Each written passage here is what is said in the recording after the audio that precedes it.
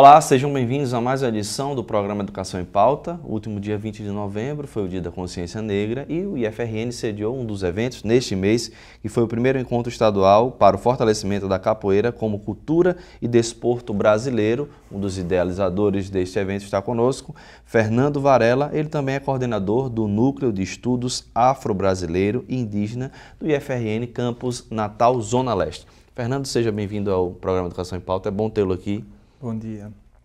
é, Para reafirmar ainda mais, né? A gente pensa no Dia da Consciência Negra como dia 20 de novembro, mas na verdade é apenas um dia simbólico, né? Não concorda? É uma luta diária que a gente tem que ter, né? É, correto, né? Ah, o dia 20 é devido à morte do Zumbi de Palmares, né? Usou como referência esse dia, mas o, o dia da consciência negra são todos os todos dias os durante dias. o ano e a gente tem que fazer um trabalho contínuo para conscientizar a sociedade, né? Uhum. E contra esse preconceito, preconceito é, lutar, é, um preconceito que a gente tem, que é um, é um preconceito que é velado às velado. vezes, né? A palavra velado. correta é, é um preconceito velado, velado. né? Então, e a, a dívida gente... histórica é, é gigantesca. Né? Correto, correto. Se é que a gente tem condições de, de, de digamos assim, de resguardá-la, né? De um dia conseguir, penso que nunca, porque as pessoas que já sofreram e morreram com ela estão aí no tempo. Mas vamos conversar um pouquinho sobre esse evento, como é que foi organizado né, esse encontro estadual para o fortalecimento da capoeira?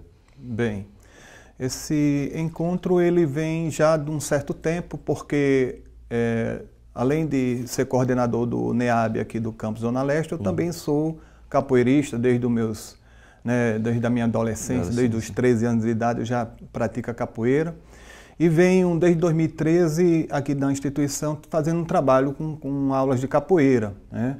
Eu, o mestre Magão, alguns, alguns integrantes do, do grupo de capoeira Corpo Livre, a gente vem fazendo um trabalho que é exatamente colocar essa cultura né, de, dentro da instituição, que é uma prática brasileira, uhum. é uma prática que fortalece é, questões históricas nossas com relação à luta do negro, né? Uhum. E a gente vem fazendo esse trabalho durante esse período. Então, 2014 foi quando começou um processo junto ao IFAM. Né? Uhum. Em 2014, final de 2014, é, começaram algumas reuniões e essas reuniões elas é, começou a envolver os capoeiristas do Rio Grande do Norte e com isso começou esses capoeiristas a ter uma nova consciência que é uma consciência de organização política.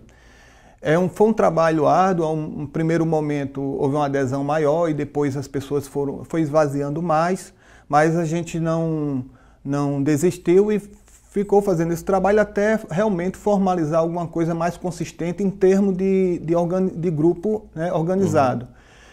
É, a gente fazia um trabalho junto ao IFAM, porque foi o IFAM que começou todo esse processo de salvaguarda, né? Uhum. Ainda continuamos com o IFAM, mas devido a uma determinação do presidente que, este, no caso, proíbe a criação de comitês, grupos nesse sentido, a gente, o IFAM passou para o nosso coletivo que não era possível fazer a criação do comitê gestor da salvaguarda da Roda de Capoeira, o ofício de mestre de capoeira do Rio Grande do Norte, que já a gente já tinha aprovado o nosso regimento interno, em reunião, já tinha uhum feito todo esse processo de organização. Já tinha avançado bastante, né? Já, já tinha avançado, mas o IFAM e a previsão era para agora, dia 12 de novembro, a gente fazer o fechamento para dar posse do comitê gestor.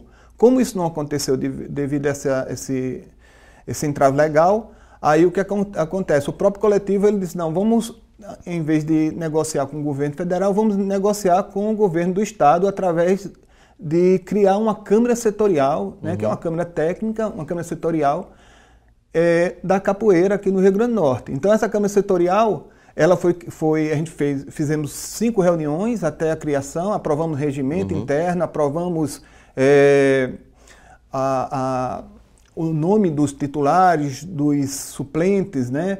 Temos dois integrantes que são, é, é a gente chama, é o participante nato, é o é o titular nato, porque são, é o mestre Marcos e o mestre Índio, né, que eles são, de certa forma, nossa referência da capoeira uhum. no estado, essa nossa capoeira de hoje.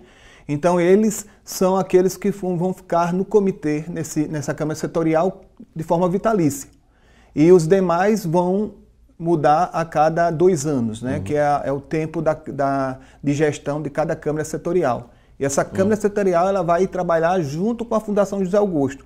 Então, a, a, Fundação José Augusto vai emitir uma portaria informando é, é, o nome dos titulares, o nome São dos suplentes. No? São 11 titulares uhum. e 11 suplentes e mais dois nato, uhum. né, que, que é o mestre Marcos e o mestre Índio. Entendi. É, Fernando, é, falando desse evento, houve a, o apoio do, da, também da Fundação, né? É, do IFRN, é, foram mais de 100 capoeiristas de todo o estado Isso. que viajaram para vieram do interior. É. é. vale salientar que foi um evento feito de várias mãos, uhum. né, mas com pouco recurso. Então o IFAM uhum. ele conseguiu é, custear a parte de passagens diária do nosso convidado, que é o, o foi o contramestre é, sem terra, que é conhecido na capoeira como contramestre sem terra, uhum. que é o, o, Paulo Magalhães, que é um pesquisador, é um, já lançou vários livros sobre capoeira, é um estudioso. E a gente conseguiu trazer através do IFAM, né, custeando esse, uhum. essa despesa dele. Que ele é jornalista também, né? Ele é jornalista. O Paulo Magalhães também é jornalista. Ele é servidor público da Universidade Federal da, da Bahia, da né? Bahia e jornalista e bem atuante na parte da, dessa parte política, política da né? capoeira. Né? né? O livro dele, Jogo de Discursos, a Disputa por Hegemonia, na tradição da capoeira Angola, Angola. baiana, né? Isso, isso. Então, o, o, evento, ele, ele é, teve essa participação.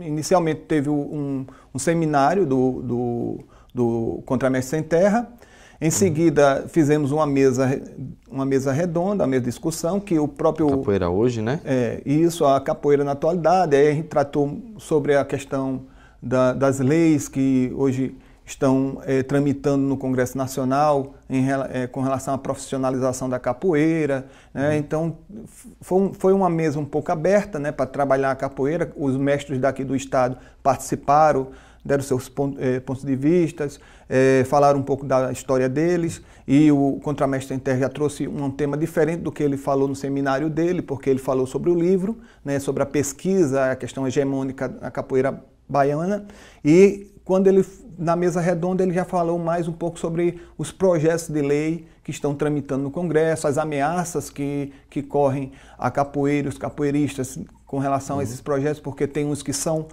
benéfico e outros não. Outros então não. ele trouxe toda essa, essa, essa atualização para os capoeiristas aqui do Rio Grande do Norte. Importante, né? Sistematizar um, um pensamento de tudo que está acontecendo no país, né? Isso. Que às vezes fica. É, e foi a primeira vez, Fernanda, a primeira vez que a capoeira tem um órgão junto ao governo do estado. Isso como é que foi Olha, essa organização? A, até onde eu sei, uhum. né? Até onde eu sei, a Câmara Setorial da Capoeira, ela, ela é Inédita, né? No Aqui caso? No Brasil eu não conheço outra câmara setorial. Uhum. Né?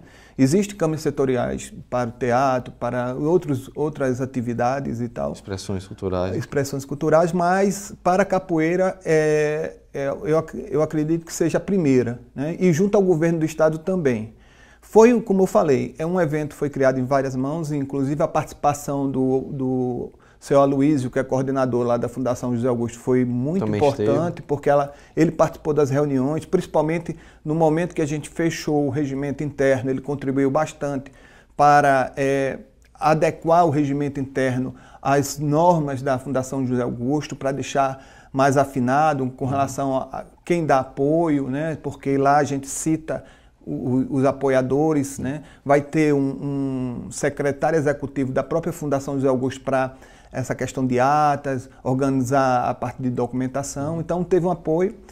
E foi um além da participação do, do, do seu Aloísio, né, também tivemos a participação é, do próprio Memorial da Capoeira, que conseguiu ceder o espaço uhum. lá alojamento para os nossos convidados, mestre, né, do Mestre Arrepio, que né? tem um, um, memorial. Né? Então tivemos a participação de, de, de, vários capoeiristas e a gente só conseguiu fazer um bom evento porque A gente uhum. teve essa adesão, né? tudo de forma voluntária, né? mas foi uma adesão feita com muito amor e foi, conseguiu a gente uhum. realizar um Fortalecer ainda mais. Evento. Inclusive, é, é, a Câmara é presidida pelo, por, pelo Nivaldo Freire da Silva, né? pelo mestre Arrepio, isso? Não, na realidade, Ou foi só a reunião? Não, ele ficou como representante no dia, né? Uhum. mas a Câmara Setorial ela ainda não escolheu não o coordenador. Na uhum. realidade, ela, o nosso regimento interno ela prevê um coordenador e um vice-coordenador, mas um secretário executivo. É, então, esse coordenador ele que vai pautar as, as é, as matérias para serem discutidas e deferidas uhum. no dia das reuniões, né? E, e é esse, esse, esse, coordenador e esse vice-coordenador a gente ainda pretende fazer, porque vai ser uma eleição uhum. é, através dos pares, os pares que vão decidir quem vai ser, quem vai coordenar e quem vai ficar como vice-coordenador. E isso aí só vai ser feito na próxima reunião da Câmara Setorial, já com a, a portaria do, da Fundação José Augusto criada, tudo direitinho, já tudo documentado, aí a gente faz a reunião e cria o coordenador, a gente nomeia o coordenador, coordenador e vice. É, Fernando, já que a gente citou a questão do memorial, queria fazer um, um breve, um breve relato sobre isso, a importância da gente ter um lugar como esse aqui isso, em Natal, isso. na Cidade Nova, né? É, como é que o senhor avalia essa circunstancialmente a existência do Memorial da é. Capoeira? É, inclusive o Memorial da Capoeira ele é, ele é uma referência para o Brasil, uhum. né? Então isso eu posso até dizer para o mundo, né? Porque uhum. a capoeira ela precisa de espaço. Né? Temos outros casos, temos casas do, da, da, capoeira, temos outros espaços também. O mestre Arrepio ele conseguiu esse, é, é, essa façanha Uhum. Por, através de uma luta muito grande, conseguindo alguma doação do terreno, conseguindo a ajuda da comunidade para a construção. construção. Então foi um processo realmente que ficou um, ficou um local, um espaço muito bom. Então ele é, é o mestre RP está de parabéns com relação ao que ele já fez pela, pela capoeira do Rio Grande do Norte e é de suma importância a gente ter um espaço desse de referência. Muitos capoeiristas utilizam o Memorial da Capoeira porque o, o o espaço, o espaço né? é um espaço gratuito, né? E é cobrado só uma taxa com relação à manutenção, então é uma hum. coisa que não é um valor alto, é um valor só para manutenção do espaço, mas é um espaço que muitos hum. capoeiristas hoje estão utilizando para fazer seus eventos, hum. porque é um espaço que, que tem uma, uma boa estrutura. E é um espaço de história, né? Tem, tem os mestres Isso. que desenvolveram a capoeira aqui no estado. É. O mestre RP ele vem, ele vem com o espaço memorial da capoeira, ele vem dentro do memorial o navio negreiro, uhum. né, uma réplica do navio negreiro, diminui, reduzida, mas mais ou menos para você né, entender né? o casco. casco. muito bonito o memorial. É, alguns, algumas informações, alguns artigos né, sobre e tem também um próprio museu, o próprio biblioteca também que fala um pouco da dessa questão do negro no Brasil, a presença do negro, a parte da escravidão, é bem interessante, sim. E tem a arte também da comunidade, né, Isso. né, sobre, sobre, sobre essa relação da capoeira, é, é, é bastante interessante para você que deseja visitar, né, fica no bairro Cidade Nova, não é isso? Isso. Cidade Nova e, e para o natalense que ainda não foi, realmente deve, deve ir. É, Fernando, queria, já que a gente está falando de, de tudo isso, né, do processo histórico, quando a gente fala de capoeira, a gente fica. É, é e, é uma pergunta que eu acho que o senhor já deve ter ouvido 200 vezes, mas eu volto a fazer até para os telespectadores. A capoeira é, é, eminentemente brasileira, né? Correto. É, é, uma expressão cultural, aí vem aquela é. pergunta: é arte, é, é arte marcial, é dança, é, é o quê? É, eu, eu entendo a capoeira, né? Como, porque depende do, do momento histórico. Que a gente está né? falando, né? Então, foi considerado uma arte marcial, né? Pelo fato de, de ser uma luta, né? Pelo é, início, né? É uma luta para a guerra, né? Foi sim, porque no momento que, que, que alguns grupos, né? No caso, os negros no Brasil, ou os grupos mais marginalizados, aí você tem também, não só os negros, você tem também no, no, nos próprios quilômetros, tinham índios, uhum. tinha uma mistura, né? tinham foragidos, né? E essa, é, essas pessoas, elas utilizavam o instrumento, a, a, capoeira, como uma forma de defesa, né? de proteger o seu espaço. Uhum. Então, é um, é um, naquele momento, foi um momento né, que você poderia estar tá, tá considerando como arte marcial. Uhum.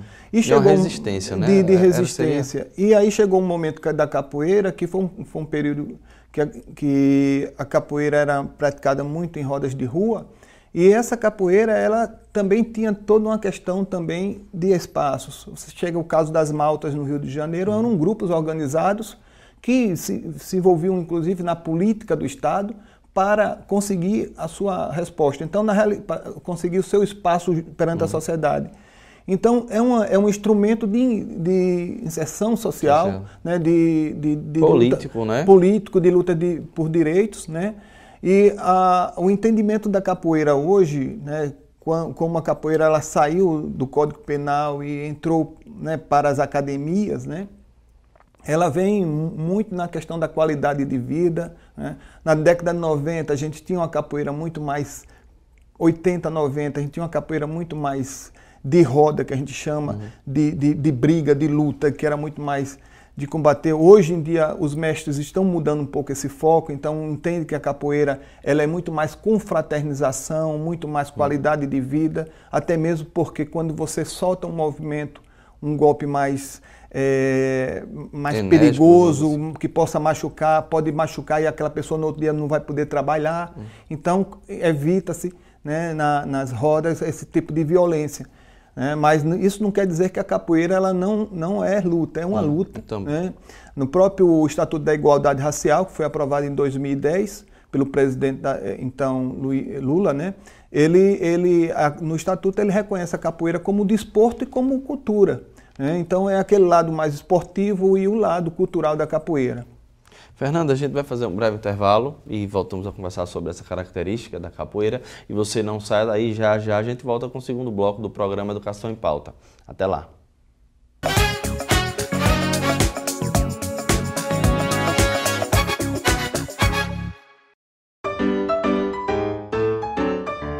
Marina jogou essa garrafa de refrigerante no lixo seco. A garrafa foi apanhada pelo catador João e transformada nesse pote de iogurte. Maurício comprou, bebeu o iogurte e jogou o pote no lixo seco. Aí veio o catador João e ajudou a transformar o pote de iogurte em sacola plástica. Vovó Irene usa a sacola para levar as compras para casa. Depois de usada, a sacola foi para o lixo seco. E junto com outras sacolas, se transformou em mais uma garrafa PET. Você pode fazer o mesmo. Separe o lixo úmido do lixo seco e ajude a construir um mundo melhor. Repense, reaja, recicle. Uma iniciativa do Instituto Federal de Educação, Ciência e Tecnologia do Rio Grande do Norte. Assim ele parece inofensivo, mas você já sabe os males que esse mosquitinho pode trazer. Por isso, todo cuidado é pouco para que o Aedes aegypti não se prolifere. Aí vão algumas dicas. Verifique caixas, reservatórios e depósitos de água. Eles devem permanecer limpos e lacrados. Deixe o terreno limpo de copos plásticos, pneus, sacos de lixo. Não parece, mas eles podem ser criadouros do mosquito. As calhas dos telhados devem estar sempre limpas e desentupidas. O acúmulo de água é um local ideal para o Aedes aegypti. Coloque telas nas janelas da sua casa. Isso evita visitas indesejadas ao longo do dia. Ter bichinho em casa é bom, mas lembre sempre de trocar a água dele e de lavar o recipiente. Caso tenha alguma dúvida, entre nesse site ou ligue para esse número. É o seu canal de comunicação com o governo federal. No IFRN, todos os campos estão engajados na luta contra o Aedes aegypti. Isso porque a gente sabe que para vencer essa guerra, cada um tem que cuidar da sua parte. Entre na luta você também e prove que um mosquito como esse não é mais forte que um país inteiro. É o IFRN na luta contra o Aedes aegypti.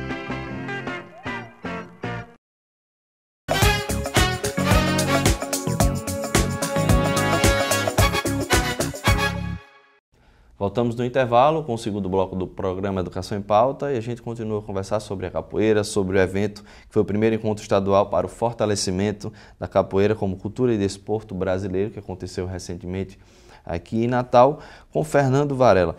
Fernando, eh, ainda então é, é importante voltando àquela questão que a gente estava falando no bloco passado, né, entender que a capoeira é mais uma expressão cultural do que a gente poder criar sinônimos, ah, dança capoeira, luta capoeira, como é que o senhor vê essa... É, eu entendo a capoeira como um jogo. Um jogo, né? né? Eu acho que como seria o mais do, adequado, é, o jogo. Um jogo, né? como você tem um jogo de xadrez, uhum. né, que você Envolve o é, lúdico. Envolve, você, você tem que estar tá sempre né, antecipando o jogo do outro. Você tem que observar o jogo do outro para poder saber e daí dar o seu checkmate. Então na uhum. capoeira ela tem, é um jogo de resposta. Quando você tem dois capoeiristas jogando em, em harmonia, isso não quer dizer que o capoeirista está dando pulo, está dando salto, mas sim em jogo em harmonia é um jogo que o tempo todo o capoeirista está observando o jogo do outro, tentando uhum. no jogo pegar de forma técnica o, o outro, uhum. né? E esse diálogo ele tem que ser regido pelo som dos instrumentos, através de um ritmo. Ele não pode estar no ritmo acima nem abaixo do que a, o, o, o, jogo dita. Então, uhum. na capoeira você tem vários toques. Cada toque uhum. tem uma definição. Se você tem um toque mais rápido, ou você tem o um ritmo. São Bento Grande, o São Bento Grande do Bimba, você tem um jogo, então cada jogo tem um tipo. Ah, Angola, Angola é mais baixo, mais maliciado. E uhum. aí você vai fazendo conforme o jogo. Né? É, alguns falam. As regras têm que ser respeitadas. Né? Respeitadas. Então é como é, o mestre Decânio, que é um é, é, já falecido, né, o saudoso mestre Decânio, ele falava que a capoeira é uma arte que a gente tem que é, fazer com os três R's, né? O R uhum. do respeito, o R, o R do ritual e o R do ritmo. Então a gente tem que a questão do respeito, respeitar o mestre, respeitar né, o nosso dinâmica, né? parceiro, né? respeitar a nossa cultura. Então isso aí é, é a questão do, do, R do ritmo, ele vem a questão do, do batimento da capoeira. Então vem essa, essa, essa, essa dinâmica dos três R's que o mestre Decânio fala é bem interessante, interessante porque ela, ela, ela de certa forma disciplina né, hum. o capoeirista. É, né? e, e o aluno também, como se fosse, ele também tem essa questão da da ética, do respeito. Isso. O, isso. o forma dessa maneira também, né? Então, respeitar o mestre é o respeitar jogador, o pai, hum. é respeitar o amigo né? na escola, é respeitar. Então, quando a gente tem um mestre que realmente.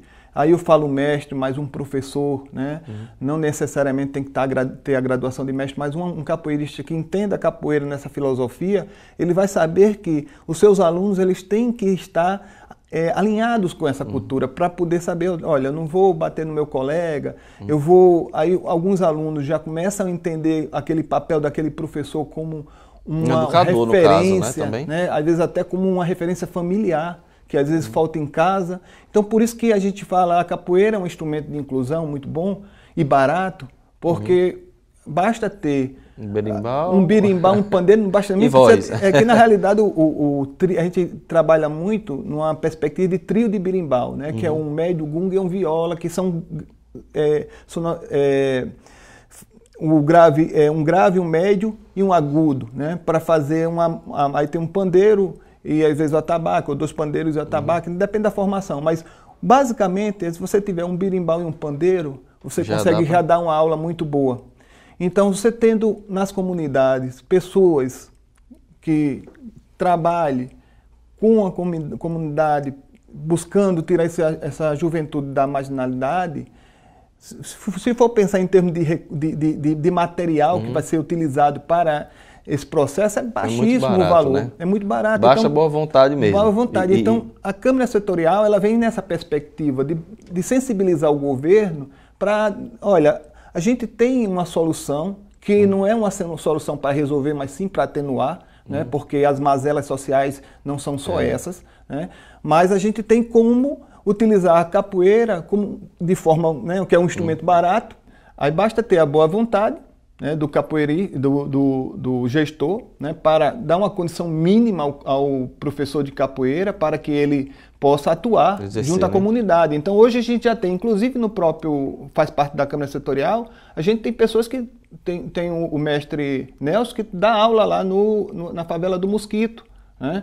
E a ajuda que ele tem lá é a ajuda dele mesmo, de forma voluntária. Então a gente tem já pessoas atuando. Basta a gente fomentar isso uhum. para que aumente né, e que dê condição, a, pelo menos a pessoa, condição mínima para esses professores atuarem de forma digna. Né? Quem sabe chegar até um, um, um, em todos os bairros periféricos da cidade ter grupos né, com, com aulas gratuitas. É esse o objetivo? É, a, a, a, a gente tenta, né, e existe já uma corrente muito forte no Brasil é, com relação à capoeira na escola. Né? Já, no, já existe algumas iniciativas no Rio de Janeiro com relação a, ao trabalho de capoeira na escola. Aqui no Rio Grande do Norte a gente também teve, tivemos mais educação aqui no Rio Grande do Norte, né, que também é, pagou uma bolsa para professores da aula de capoeira, então era uma forma, né, mas a gente, a gente precisa, a gente quer buscar alguma coisa muito mais... É, é, que esteja na pauta e também contínua, né? É, que Fernando? seja direcionada para a capoeira, porque a, a, a, questão do, do Mais Educação, ela veio como um, uma, um, vamos dizer assim, não, é uma, não era uma coisa de capoeira na escola de fato, né? Era, utilizava, tinha bolsa para pagar o capoeirismo, mas não era com essa finalidade. E a gente quer que a gente tenha é, é, uma, uma, um suporte que seja direcionado realmente capoeira, o nome venha capoeira na escola mesmo, né? Até porque é, não é questão de fazer um juízo de valor com outras artes marciais ou com outras expressões culturais de outros países. Mas a capoeira é brasileira, não é isso? isso? Foi em 2014 que, que foi considerado como patrimônio material? Na realidade, esse reconhecimento, né, que é um reconhecimento é, como patrimônio imaterial, hum. ele veio em 2008. 2008, né? É, 2008 veio... E essa sessão que teve do Comitê Internacional é, da pe... Salva em Paris em 2014 foi... É, pela ONU, né, pela hum. Unesco, desculpa, pela Unesco, foi em 2014. 2014. É, Entendi. teve reconhecimento em 2014 pela Unesco, mas em 2008 já era reconhecido no Brasil né, a, a, como patrimônio material.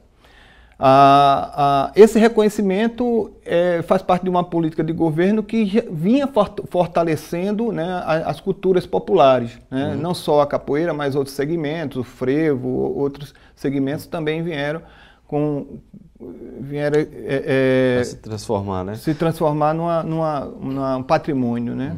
É realmente é, é, em 2008 pelo IFAM então a capoeira foi considerada patrimônio imaterial brasileiro e em 2014 na verdade foi a roda de capoeira que patrimônio imaterial da humanidade. Da humanidade. Então a importância da, da gente ter essa expressão Isso. nossa, né? Isso. Brasileira.